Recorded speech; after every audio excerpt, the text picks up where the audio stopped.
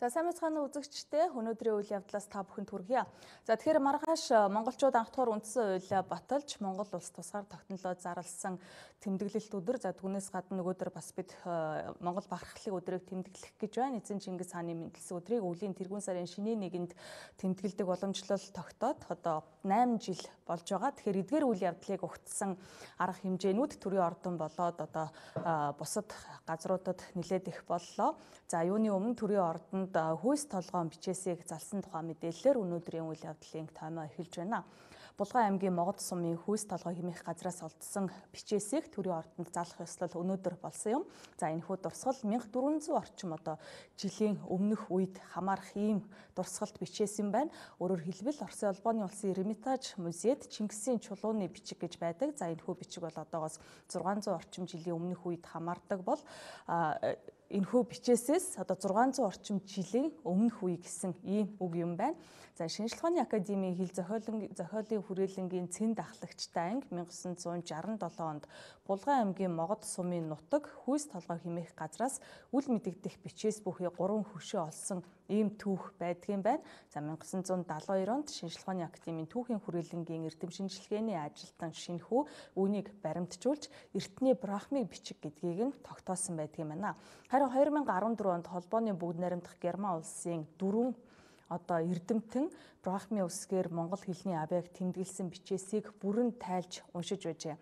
Эрдэмтэн судлаачид хүйс толгоон бичээсийг Түргийн хаант улсын ихэнх үед хааны тахилгад зориулан босгосон гэж үздэг юм байна. За бичээст Түргийн хааны нэр цолоос гадна түүнээс өмнөх үе буюу Монголын эртний төр тулс Жужааны Анхай хааны нэрч байдаг гэж судлаачид хэлж байгаа юм а. За Монгол Улсын засгийн газар 2019 оны 9-р сарын 25-ны өдөр тогтоол гаргаж хүйс толгоон бичээсийг түүх соёлын хосгүй үнэт дурсгалт зүйлсийн жагсаалтад оруулсан байдаг. За өнөөдөр төрийн ордонд энэхүү бичээсийг залж байна. Монгол Улсын төр засаг болон эрдэмтэн мэрэгд та бид Монголынхаа түүх хэл соёлын өв хадгалан хамгаалах сэргээн засварлах судлан шинжилгэээс гадна Монгол төмөндөө болон дэлхийн нийтэд сурталчилан таниулах үр хүлээсэн хүмүүс байдаг. Иймээс та бид түүх соёлын босгон үнэт дурсгал болох хүүс толгойн бичээсийг төрийн ордондоо ёсол төгөлдөр залах арга хэмжээнд хамтдаа олдсож байна. Энэхүү бичээс нь Булган аймгийн Могод сумын хүүс толгой хэмээх газар байрлаж ирсэн бөгөөд Монгол Бахрамын бичгээр бичигдсэн болгон эрдэмтэн судлаачдын судалгаагаар нотлогд нь тогтоогдсон байна. Хүйс толгойн бичээс нь монгол хэлний түүхэн баримт мөн төдийгүй Оросын холбооны улсын Эрмитаж дахь Чингисийн чулууны бичгээс даруй 600 орчим жилийн өмнө үед буюу одоогоос 1400 жилийн тэртех цаг үед хамаарч байгааг бас судлан тогтоосон байна. Монгол Улсын засгийн газар 2019 оны 9 сарын 25-ны өдрийн хуралдаанаар энэхүү бичээсийг түүх соёлын хосхоо үнэт дурсгалт зүйлийн жагсаалтад бүртгэн авах тогтоолыг гаргасныг бас та бүхэн маань мэдж байгаа. Монголчууд бид анхны төр тусаа байгуулснаас хойш 2000 гаруй жилийг туулсан их хэл, түүх, соёл, зан заншил, соёлын сан хөмбөргөө инхүү улам бүр баяжуулсаар байна. Монголчууд бидний оршин оршин байх үндэс болсон их хэл, соёлынхоо амин сүнс, дархлааг өнөөдрийн арга хэмжээ улам бэхжүүлж байгаа гэдэгт Монгол Улсын ерөнхий сайд миний итгэл төгс байна. Хүүс толгоон бичээсээс бичээс Монгол хэл бичгийн түүхэн баримт хосгүй үнэт тусгал мөн болохыг судлан тогтоосон эрдэмтэд судлаачид болон төр захиргааны байгууллагын хүмүүстэй Монгол Улсын засгийн газрын нэрийн өмнөөс болон хувьсаа чин сэтгэлийн талархал илэрхийлж байна. За тусгаар тогтнолын өдөр болоод Монгол бархлын өдөрт зориулсан арга хэмжээнүүд өнөөдөр үргэлжилсэн. За тухайлбал төрийн саярхалт Шарвын алтан пянцыг төрийн музейд өнөөдөр бас залсан бол мөнхтөнгөрийн үзэсгэлэн жил бүр одоо Монгол бархлын өдрөөр явагддаг өнөөдөр бас нээлттэй хийж Монгол улсын ерөнхийлөгч нээлттэй ажиллагаанд оролцсон. За түүнээс гадна Монголын үндэсний номын санд урд нь олон нийтийн хүртэл болж байгаагүй монголчуудын бичиг үсгийн соёлын дурсгал болоод цуглуулагчдын ховор нандин үеийг өнөөдөр дэлгэн үзүүлж эхэллээ. 8 дугаар богд хааны Шамблын өрөөлийг хус модон дээр сийлэн үлдээсэн цор ганц ихийг энд дэлгэсэн байна. 8 дугаар богд Жавцсан дамб Шамблын өрөөлийг Монгол улсын анхны ерөнхий сайд Намнан сүрэнд зориулан айлдаж байсан гэдэг түүхийг өнөөдөр бас судлаачид ярьж байна. Энэхүү өрөөлийг хус модон дээр төвд соён бүсэг Монгол бичгээр сэлбэрлэж юусан эрднэр будаг өргөсөн гэдгээ. Иргэн амар санаа өөрийн хувийн цуглуулгаас энхүү олон нийтэд дэлгэн харуулж байгаа үзэгслэнг та бүхэн харж байна. За Монголд шашин шүтэх энэ чиглэлийн ном зохиолыг хэвлэн олшруулахыг хориглосон цаг үед барлсан сүүлийн дурсгалуудын нэг нь энэхүү 8 дугаар богд хааны буман зарлиг юм байна. Монголчууд оюуны өв соёлоо устгуулахгүй тулд дайн самуунтай цаг үеийг сүрэн байж богд хааныхаа зохиол бүтээл сургаал зарилгуудыг эмхтгэн модон баранд сэлж хадгалж үлджээ. Богд хааны буман зарилгыг Монголын үндэсний номын сан Дамбатаржаалын хийдийн Эрдэм соёлын хүрээлэн хамтран уншигч судлаачдын хүртэл болгож байна. Энэ жил бол бас их түүхэнд тэмдэглэлтэй олон үйл явдалд авчсан өдрүүд тохиож байна л да. За Чингис хааны мэндэлсэн Монгол бахархлын өдөртөө зэрэгцүүлээд бид нар өндөр гэгээн зан нозрын зохиосон соён бүсгийн 333 жилийн Монголын сүүлчийн эзэн хаан Богд хааны мэндэлсний 150 жилийн ойд зориулсан том арга хэмжээг одоо дэлгэж байна. За энэ удаа бол бид нар гурван том арга хэмжээг нэг дор одоо нээж байгаа. За энэ нэгдүгээрт бол бид нар энэ Монголын төрч ёсон ба бичиг соёлын өв гэдэг бие даасан үтсгэлэн зохион байгуулж байна. За энэ үтсгэлэнд хамгийн гол онцлог нь юу юм бэ гэхээр зөвхөн одоо манай номын санд хадгалагддаг, үндэсний түүхэд музейд хадгалагддаг одоо соён бүсгийн төрч ёсны дурсгалууд, туг далбаа хёор, за тэгээ зарлиг, бичиг баримтаас гадна хувь хүнд хадгалагдаж байгаа дурсгалыг одоо авчирч дэлгэж нэг одоо сэтгэвт үсгэлэн гаргаж байна. За энэ нь бол одоо урд өмнө одоо хүмүүс үзэж харж байгаагүй хувь хадгалуулагч одоо цуглах цуглуулагчийн гар дээр байдаг үзмрийг дэлгэж байгаагаараа энэ үсгэлэн маань онцлогтой. Тийм учраас бид нар одоо нэг сар гарах энэ хугацаанд аль болох олон хүмүүст Монголын одоо хадгаламж хадгалагч нар цуглуулагч нарын гар дээр байгаа эрхэм сайхан бүтээлүүдийг дэлгэж харуулах зорилготой. За хоёр дахь нь бол Монгол улсын ерөнхийлөгчийн одоо эвэлдор хэвлэгдсэн Монголын эзэнт гүрэн гэдэг номын нээлт болж байгаа. Энэ номыг бол одоо Монголын нийтийн 376 номын санд хүргэх ажлыг үндэсний номын сан маань эрхлэн явуулах юм байгаа юм. За энэ номын нээлт болж байна. За мөн хамгийн гол нь Богд хааны мэдсний 150 жилийн ойд тохиож байгаа энэ ажлын хүрээнд Монгол улсын үндэсний номын сан Богд хааны төвд хэлээр туурвсан сүмбэн буюу буман зарлиг гэдэг энэ номыг уншигч судлаачдынхаа гар дээр тавьж байна. Энэ бол одоо Богд хааны маань туурвын бүтээсэн буман зарлигийг судлах цаашдаа залуу судлаачид шинэ одоо судлах туун олж авах. Дээрэс нь Богд хаан гэдэг хүн маань ямар эрдэм чадaltaй, юуг номлодог, юуг сургадаг хүн байсан бэ гэдгийг мэдхэд таны мэдхүний хач холбогдолтой том бүтээл болсон гэж итгэж байна. Номыг ингэж хэвлэж гаргасны хач холбогдол нь гэвэл богдгийн ман дан ганц шашных ч юм уу нэг бол дан төрих гэх мэтлэнгээ аль нэг тал руу хэлбэлцүүлдэг.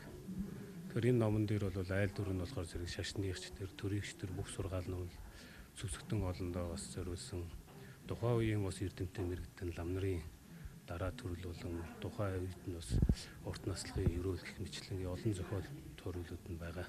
Тэр бүгдийг эмгтэж гаргасан. За энэ дээр тулгуурлаад хүмүүс болохоор Нэгдүгээр богд ламыг маань одоо ямархуу хэмжээний одоо яруу найрагч ямархуу хэмжээний одоо хүн үзэл бодолтой хүн байж өгдгийг таньж мэдэх. Хоёр дахь юм бол тухайн үеийн одоо амьд ах байсан цаг үеийнхэн тэр мэрэгдүүд нь шавнар нь одоо ямар хүн байснаас тодтож гарч ирнэ.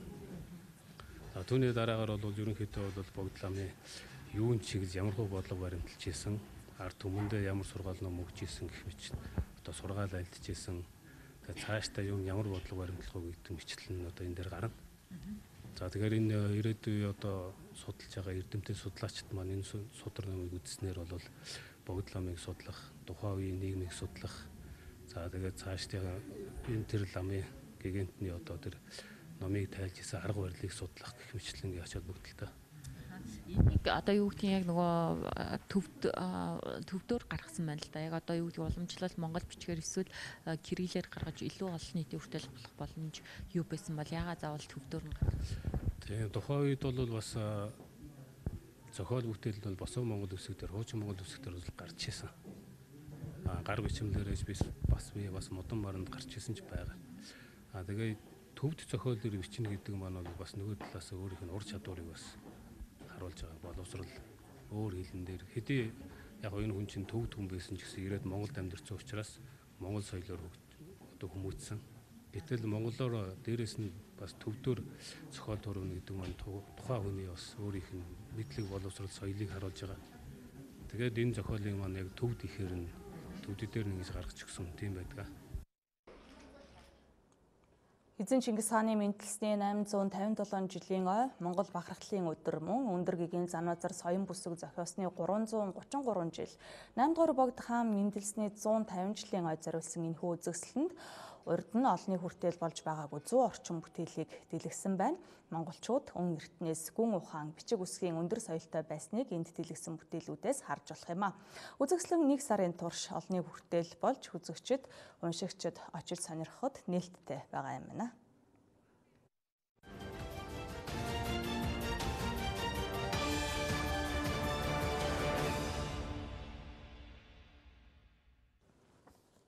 Өнөөдөр улсын онцгой комисс суралдаж шинэ өвлийн үйлчлэлтийн бэлтгэл ажлын талаар танилцлаа.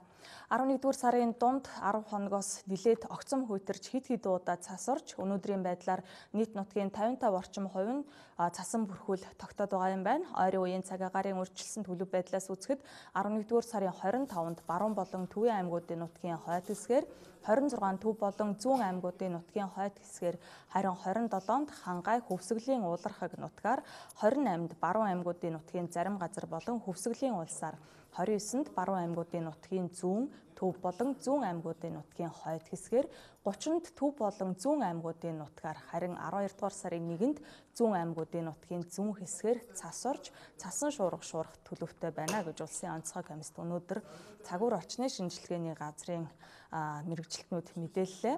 За харин 11-р сарын 20-ны байдлаар гаргасан зудын эрсдлийн зургийг мөн өнөөдөр танилцуулсан. За зудын эрсдлийн зургаас харахад нийт нутгийн 30 гаруй хувь нь одоо зудын их эрсдэлтэй байна. Тэр дундаа 7 орчим хувь нь зуд болох өндөр эрсдэлтэй, харин 27 хувь нь их эрсдэлтэй байна гэж танилцуулж байгаа юм. 30 гаруй хувь нь одоо дунд зэрэг эрсдэлтэй байна гэдэг одоо мэдээллийг өнөөдөр улсын онцгой комиссд өглөө. Бид энэ зудын эрсдлийн үнэлгээг бас хийсэн. 2019 оны 11-р сарын 20-ны байдлаар гаргасан зуудын эрсдлийн зургаас одоо үзэхэд нийт нутгийн 30 гаруй хувьд нь за 7 хувьд нь нэн их одоо эрсдэлтэй байгаа. За 27 хувьднууд их эрсдэлтэй гэсэн юм дүн гарсан. За 30 гаруй хувьд нь бол дунд зэрэг эрсдэлтэй байгаа одоогийн байдлаар. За үүнээс увсын завхан, масчин, ховдын булган, мөст, говалтайн, халиун, тонхид, төгөрөг, завхны эрдэнэ хайрхан, арханган, өлзийт, өгийн нуур, цэцэрлэг, булганы орхон, гişиг өндөр, үрэг ханга, гурван булаг, дашин чидэн, аршаант. За Төв аймгийн Баян дэлгэр, Хинтийн Жаргалт хаан, Өмнө дэлгэр, Баян хутаг, Мөрөн, Сүхбаатарын Эрдэнэ цагаан, Түмэн цогт, Мөнх хаан, Баян дэлгэр, Дунд говийн Сайн цагаан сумдын нутгаар бол нэн их хэрэгцтэй гэсэн одоо ийм одоо үндгээтэй гарсан байгаа. За ингээд 12 дугаар сарын одоо урьдчилсан төлөвөөс үзэхэд бол Увс завхны хойд төвсгдийн баруун талын сумдын нутгаар бол олон жилийн дунджаас бол хүйтэн Төв нутгийн өмнөд говийн бүсийн нутгаар дунджаас баг зэргийн дулаан за бусад нутгаар дунджийн орчим одоо хур томцны хувьд их нутгаар олон жилийн дунджийн орчим байх юм төлөвтэй байгаа. За 2020 оны 1-р сард харьцангуй хүйтэн цас ихтэй байгаа ус завхны хойд хөвсгөлийн баруун талын сумдын нутгаар олон жилийн дунджаас хүйтэн за Дорноговь Сүхбаатарын нутаг өмнө говь дунд говийн зүүн Дорнодын одоо өмнөд хэсгээр олон жилийн дунджаас баг зэрэг дулаан байх юм одоо төлөвтэй байна. За 2020 оны 2 дугаар сарын хувьд цагаарын урьдчилан төлөвөөс үзэхэд эдийгээр одоо нутгийн ихэнх хэсгээр агаарын температур олон жилийн дунджийн орчим байх боловч одоогийн цас ихтэй аймаг сумдын нутгаар цас нэмэгдэж орох хүйтэн хадгалагдах юм төлөвтэй байна. За өнөөдрийн байдлаар Отрын бүс нутаг, Булган аймгийн Дашинчилан, Баяннуур сум сум сумын нутаг болон Хинтийн аймгийн Хэрлэн Баян сумын нутагт бол олон мянган малчин өрх отор хийж Өв сургууль сайтай байсан хэсэгхэн газарт одон зуун мянган удаа мад отордож байгаагаас тэдгээр тэдгээр газарт бол цаашдаа туурайн зууд нүүрлээд нүүрлэхэд юм аюул байгааг одоо тэтгэн зүйтэй гэж бодож байна. Өргөдсөн хуралдаанаар аймаг сумдад дотор нүүдэл хийж буй малыг хөөж туухгүй байх. Малчтаас малын хөлийн татвар хураамж авахгүй байх. Малчдын өөрсдийнх нь үүрэг хариуцлагыг чангатгаж отоор өвлжих малчин нэгүртээ гэрээ байгуулах. Малчид иргэдэд төрийн гүйцэтгэх саадгүй үүрэг чиглэлээр үүрэг даалгавруудыг өгсөн. Комиссийн шуурхай үлэг орон нутагт ажиллах үеэр гамшигын эрсдлийн үлгээх шаардлагатай газруудад хийсэн эрсдлийн үндэгээгээр Архангай аймгийн 2 сум, Дундгой аймгийн 7 сум, Завхан аймгийн 3 сум, Өвөрхангай аймгийн 15 сум, Хөвсгөл аймгийн 2 сум, Төв аймгийн 5 сум буюу нийт 6 аймгийн 35 суманд өвлжилт хүндэрч эрхлэх эрсдэлтэй байна. А гол шалтгаан нь дээрх аймагуудад зуншлаг оройтсноос газрын гарт тааруу үлийн цагаан огтод их дарахснаас бэлчээр оройтсон мал бичээр газаргүй болж цөлжилт үүссэн зэрэгс болсон байна.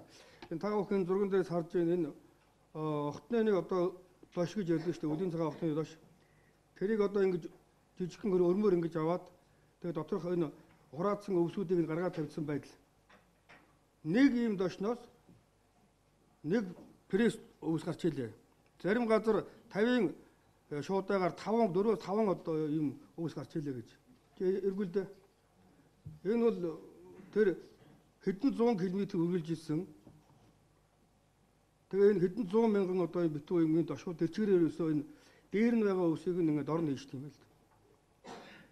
Нэг зөвхөн одоо нэг дошноос гарч байгаа ийм их өвс 20 тонн 20 одоо хил хөнгөн хүрэхээр ийм одоо нөхцөл байдал үүссэн байна. Тэгээ нөхцөл хүндэрсэнтэй холбогдуулж өнөөдрийн байдлаар Архангай аймгийн Мянган өрхийн 380.3 мянган мал, Болгон аймгийн 1630 өрхийн 482.7 мянган мал, Дундгой аймгийн Мянган өрхийн 780 мянган мал, Өвөрхангай аймгийн 1440 өрхийн 1.2 сая мал, Төв аймгийн 600 өрхийн 425 мянган мал буюу нийт 5670 өрхийн 3.2 сая мал Архангай, Болгон, Говь сүмбэр, Хэмти, Сүхбаатар, Төв зэрэг бусад аймагуудад отор нүүдэл хийж байна. Өөрхангай аймгийн зарим сумд нь нэг багтанд ерөөсөө 4-6 өрх үлдсэн айлч одоо багш хүртэл байж байна. Бусад нь отор нүүдэлд нүүдэл хийсэн байна. Улмаар өвлжилтийн нөхцөл байдал хүндэлсэн аймагуудын малчид инхүү олноороо дасгалтгүй нүүдэл хийж байгаагаас төв болгон Архангай аймагуудын өвлжилтийн байдалд нөлөөлж хүндрүүлэх болсон байна. Иймд улсын онцгой комиссийн шуурхай бүлгийн дүүгнэлт эрсдлийн үнэлгээ болон зарим аймаг нутгийн удирдлагуудаас тавьсан хүсэлтүүдийг үндэслэж засгийн газрын хуралдаанаар зарим асуудлуудыг шийдвэрлүүлэх нь зүйтэй гэж үзсэн. Үүнд өвлжилт хүндэрч болшгүй зарим аймагт хаагдсан зам давааг нээх, айд өрхийг нүүлгэн шилжүүлэх, отор нүүдэл хийж байгаа малчид иргэдэд төрийн үйлчлэгээ үзүүлэх, отрын шатаа байгуулах, цаг үеийн шинжтэй бусад асуудлыг шийдвэрлэгдэх шаардлагадах мөнгөн хөрөнгийг Архангай болгон Дундгой Өвөрхангай төв аймагуудад олгох. Хоёр Дундгой Өвөрхангай төв аймагт тухайн одоо орон нутгад байгаа улсын нөөцөд байгаа өвс төжийлийг ямар нэгэн байдлаар олгуулах. Мөн өвлжид хүндрэх хэсэлттэй байгаа булган дундгой өөр хангай төв аймагуудын малчид иргэдэд төрийн үйлчлэгийг дүртэмжтэй өргөх зорилгоор улсын нөөцөөс шуурхай албаны автомашин олгох. Шуурхай албаны автомашин дээр бол маш их одоо байдал дээр хүнд байгаа. Одоо Өөрхангай аймгийн нэг сум гэхэд 80% нь отроо явчихсан. Засаг дарганы машингүй, тавгын газар нь огт машингүй, Тэгээ одоо хүний машин байгаад явж байдаг. Наазахын оторчтой нэг удаа ирэхэд 6 700 км үрд талдаа явахаар ийм одоо нөхцөл болж байдаг. А тэр дээрх аймгийн гэхэд нэг 3 сум хөдөд огт машингүй ийм тавгын дараанаар нь бол ийм бэрхшээлтэй байна лээ. 2019-с 2020 оны өвөл хавар 22 мянга гаруй өрхийн 10 сая орчим мал отроор өвлжиж хаваржих ийм тооцоог хөдөөж хуй яамнаас танилцуулж байгаа юм а. Тэгвэл 57.5 сая мал суурин өвлжөө хаваржаанда байна гэдэг ийм тооцоог мөн танилцууллаа. Малчтын хувьд өвлийн бэлтгэлээ базаахтаа өвс тижэл давс хужрынхаа 90 гаруй хувийг бэлтгэсэн дүнтэй гэж байгаа юм. Аймаг нийслэл сум дүүргүүдийн өвс тижээлийн аюулгүй нөөцийн бэлтгэл 70% та байгаа гэдгийг мөн танилцууллаа.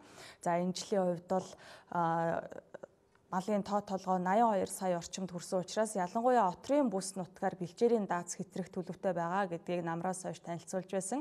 За тийм учраас отрын бүс нутагт ямар зохицуултыг хийх вэ? За мал махны экспортыг яаж нэмэгдүүлж зохицуулах вэ гэдэг тал дээр тууштай арга хэмжээ авахгүй бол бэлчээрийн дац үйлчлэлийн нөхцөл байдалд хүндрэл учруулах эрсдэл байна шүү гэдгийг бас анхааруулж байсан. За энэ талаар мөн өнөөдөр бас танилцуулсан юм а.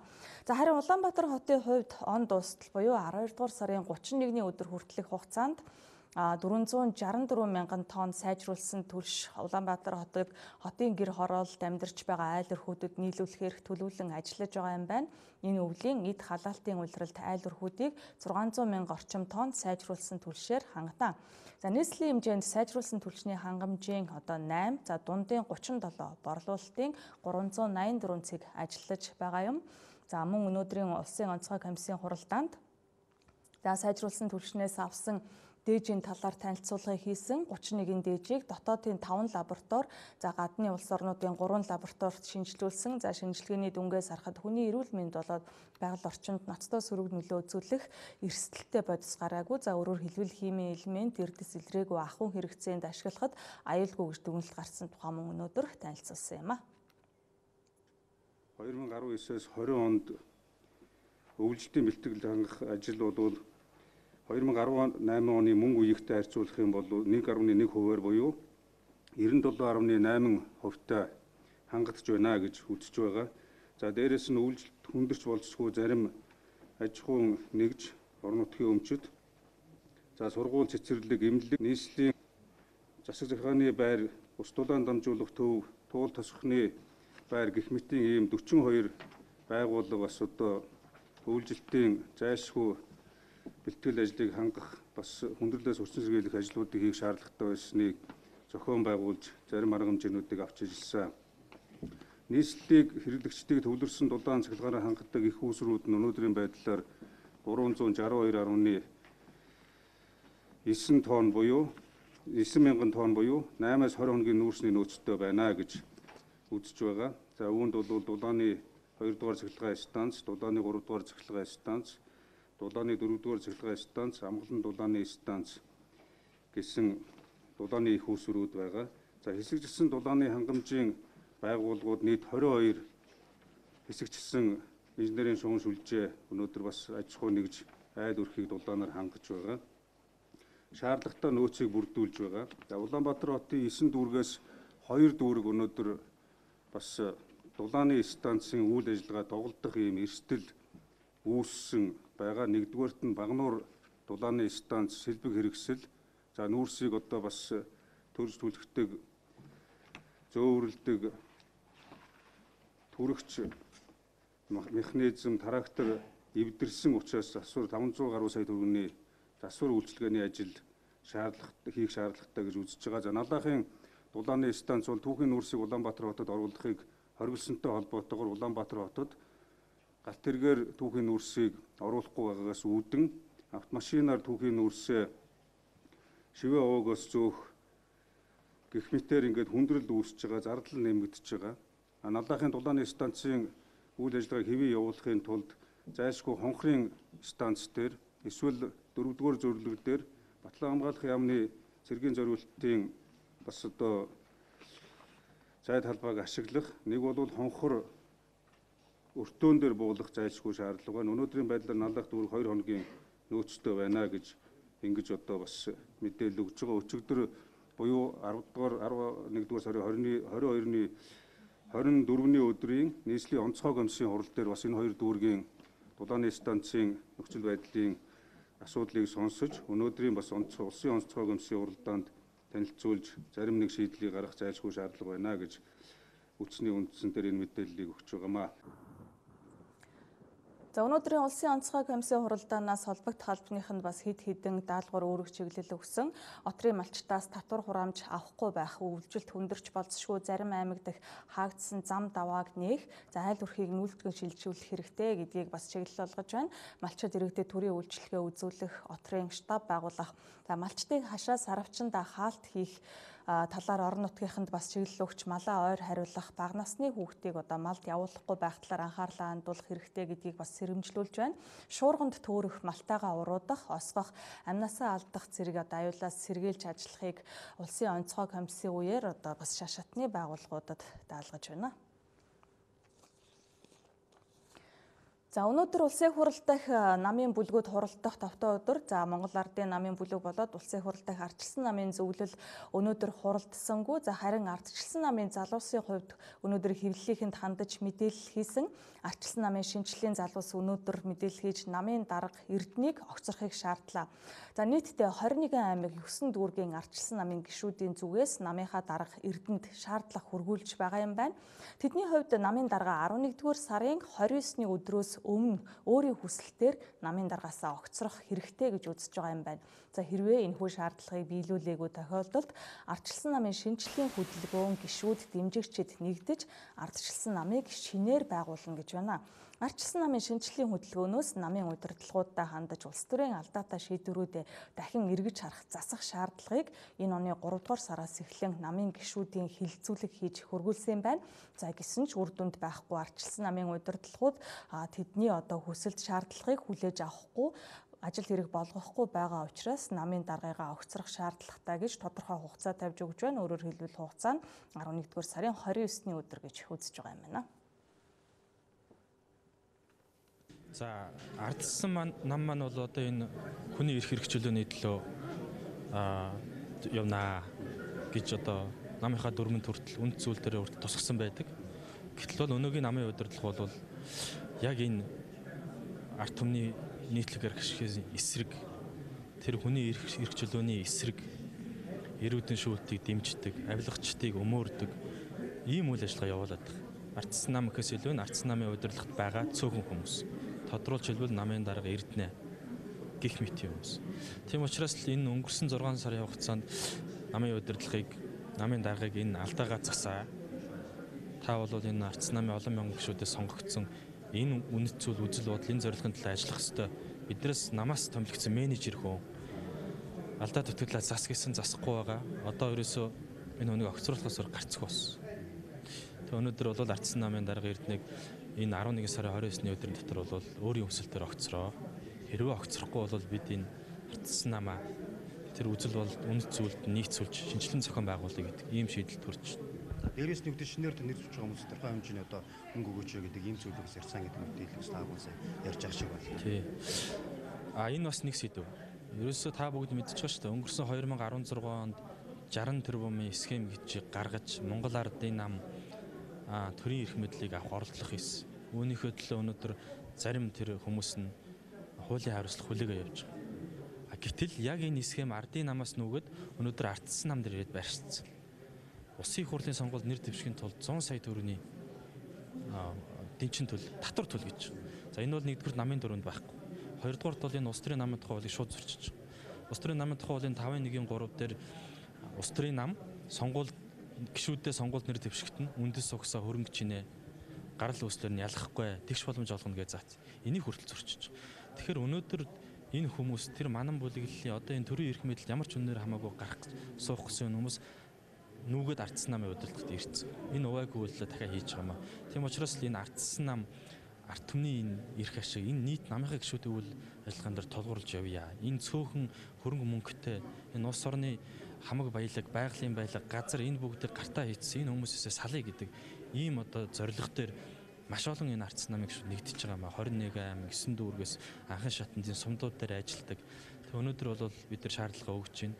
Ардсан усхлын 30 жилийн энэ 12 сарын 6-нд дохион энэс өмнө энэ ардсан нам энэ бохир зүйлүүдээс салъя. Хэрвээ энэ хүмүүс огцрохгүй байвал өөрсдөө энэ огцруулах тэр эрхээ идэл л та. Томилж болсон юм чинь огцруулж болох хэрэгтэй шүү дээ. Тэгэхээр яг намын дараа оцрохгүй бол та бүхэн одоо ямар дараагийн гаргаж байна? Бид нар ардсан намаа шинээр зохион байгуулаад шинэ ийм нэрүүл бохирдоогүй энэ улс орны төлөө бас нэг зүрх зоригтой энэ бохирдсон системтэй тэмцэж чадах тийм намын даргаыг сонгоод цаашаа яв. Тэмцэн. Ер нь бол энэ 2020 оны сонгуулиар энэ манан бүлэглэлийн бохирдсон улс төр дахид төрд гарах бэлтгэлээ ардсан нам дээр ирж хангаж байгаа шүү дээ. За арчилсан намын шинжилсэн хөдөлгөөний залуус намын даргыгаа огцрох үндслэлийг тавихтаа өнгөрсөн 4 жилийн хугацаанд намын дарга нь улсын хуралд сөрөг хүчнийхээ үүргээ хэрэгжүүлж чадаагүй гэж үзэж байгаа юм байна. За мөн улсын хурлын зарим гишүүдийг бүлэглэлийнхээ эрх ашигт үйлчилсэнгүй гэх шалтгаанаар одоо намаасаа хөөсөн арчилсан намыг хоёр нам болгож хуваасан гэж тэд өнөөдөр мэдээлж байна. За мөн Капитал банк нийгмийн даатгалыг хэрэг болоод хөгжлийн бэрхшээлтэй иргэдийн газар, хүүхдийн найрамдал цуслангийн газар гих зэрэг хэрэгтэй холбогдож өнөөдөр А рейтингийн хувьд бол бас арчилсан намын дарга улстай хамгийн одоо бас бага рейтингтэй юм улс төрчдийн жагсаалтад орж байна гэж тэд үзэж байгаа юм. За хамгийн гол нь улсын хурлд нэр дэвших сонирхлоо илэрхийлэхийн тулд 100 сая төгрөг төлгөснийг залуус эсэргүүцэж байна. За энэ бол намын дүрмд байдгүй асуудал. Түүнээс гадна бас улс төрийн намын тухай хуулийг зөрчиж байна гэж тэд үзэж байгаа юм байна. За дараагийн үйл явдлаас үзүүлээ. Шудраг өрсөлдөө хэрэглэгчдийн төлөө газар хэрэглэгчдээс ирж байгаа санал гомдлыг тогтмол мэдээлдэг. Энэ 11-р сард нийтдээ 2760 иргэн шудраг өрсөлдөө хэрэглэгчийн төлөө төвд хандсан байна. Иргэдээс ирж байгаа санал гомдлын хувьд худалдаа үйлчилгээний салбарын бүтээгдэхүүн үйлчилгээтэй холбоотой гомдол нийт өрөвдөл гомдлын 48%-ийг эзэлж байна. За үүний дараа ахуй үйлчилгээний салбарын гомдол 17 орчим хувь байгаа гэж шудраг өрсөлдөө хэрэглэгчийн төлөө газрынхан хэллээ. За сууц өмчлөгчдийн холбоо орон сууц барилгатай холбоотой өргөдөл гомдлуудын тухайд анхаарах асуудлууд байна гэж үзэж байгаа. За нэгдүгээр нийслэлийн захирагчийн ажлын алба За түүнээс гадна дүүргийн үйлдвэр үйлчилгээний хилцсэн бүтэц эрчим хүчний зохицол хорооны хариуцлага үйл ажиллагаатай холбоотойгоор иргэд хэрэглэгчдийн дулаан цахилгааны төлбөр конторын үйл ажиллагаад оролдож байгаа гэдэг ийм нийтлэг санал гомдлууд их ирж байгаа юм байна. За мөн харилцаа холбооны салбар болоод боловсролын салбарын гомдол нэлээд их өсөх хандлагатай байна гэж шудраг өрсөлдөөн хэрэглэгчийн төлөө газраас өнөөдөр мэдээллээ. За түүнээс гадна аялал жуулчлалын салбарт хийсэн хяналт шалгалтыг танилцуулсан. За хяналт шалгалтын дүнгээр жуулчны компаниуд одоо зөвшөөрөл авалгүйгээр гэрээний үргээ биелүүлдэггүй гэсэн нийтлэг зөрчил илэрсэн. За 5 хүртэлх орчим сая төгрөгийн одоо торгуул оногдуулсан гэж байгаа юм а. Нийтдээ иргэдийн 32 сая 969 мянган төгрөгийн хохирлыг барагдуулсан байна. 2018 2019 онууд гээд яг иргэд хэрэглэгчдээс ирж байгаа өргөдөл гомдлуудын тоо хэмжээ бол тоон үзүүлэлтээр нэмэгдсэн юм байдалтай байж байна. За 2017 оны хувьд гэх юм бол нийтдээ иргэд хэрэглэгчдээс бол 1850 одоо өргөдөл гомдлыг хүлээн авч шийдвэрлэж байсан бол 2018 онд 2593 за 2019 оны өнөөдөр одоо юу гэдгийг 11 сарын одоо эцсийн байдлаар бол 2780 өргөдөл гомдлыг хүлээж авсан байна. За эдгээр одоо гомдол мэдээллүүдийг одоо голчлон авч үзэх юм бол хэвлийн мэдэн дээр ч гэсэндээ та бүхэнд бас мэдээлэл байдлаар бол хангагдсан байж байгаа. Яг 2019 оны өргөдөл гомдлуудын ерөнхий нийтлэг чиглэл нөхцөл байдлыг бол за энэ дээр бол барилга орон сууцтай холбоотой өргөдөл гомдол, худлаа үйлчлэгийн салбарт гарч байгаа өргөдөл гомдол, ахуй үйлчлэгийн салбарын өргөдөл гомдол, за мөн үйлчлэгийн салбарт гарч байгаа өргөдөл гомдол, харилцаа албаны салбарт гарч байгаа өргөдөл гомдлууд бол цаашид нэмэгдэх иргэд хэрэглэгчийн дунд одоо бухимдлыг бий болгож байгаа одоо энэ салбарын гомдлууд бол байгаа нь харагдаж байгаа хаа, ажиглагдаж байгаа хаа.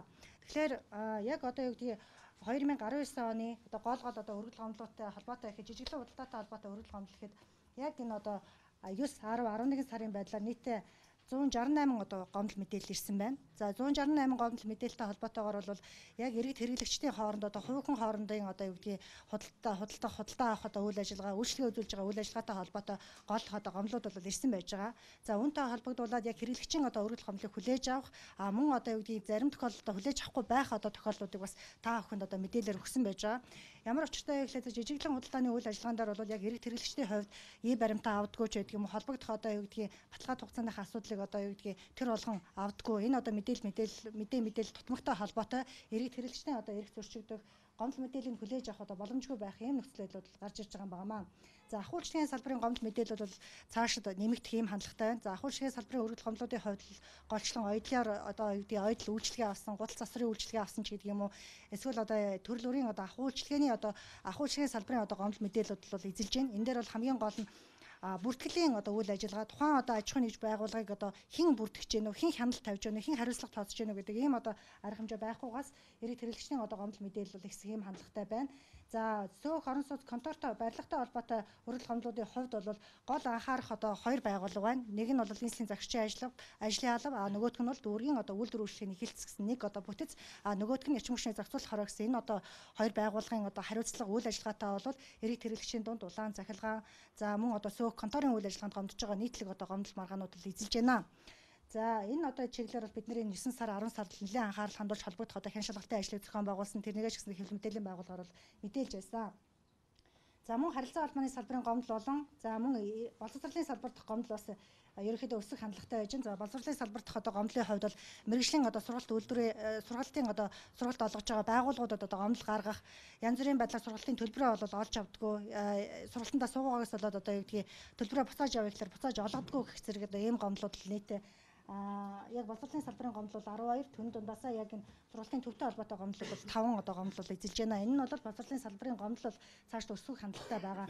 Аа нэг одоо гомдлуулж байна. Учир нэг бол өмнө нь одоо боловсролын салбарын гомдол нэг гардгүй байсан. За үзэгч та бүхэнд бид өнөөдрийн үйл явдлаас таймлын хүргэлээ. За одоо та бүхэнд дэлхийн хотуудын цагаагаар мэдээх хүргье.